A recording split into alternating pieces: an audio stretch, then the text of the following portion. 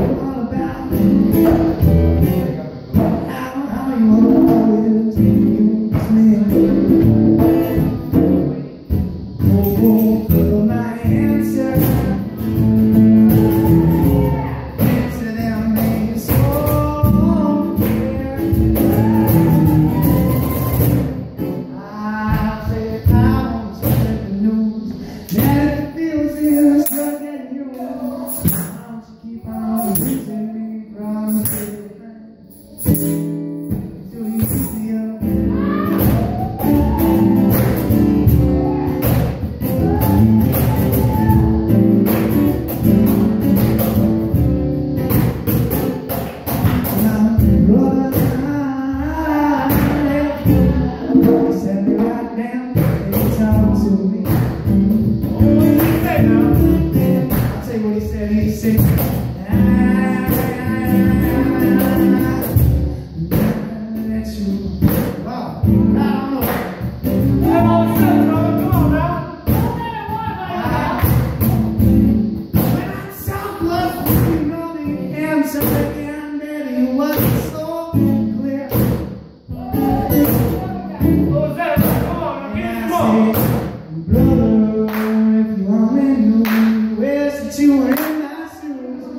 Yes, he just keeps on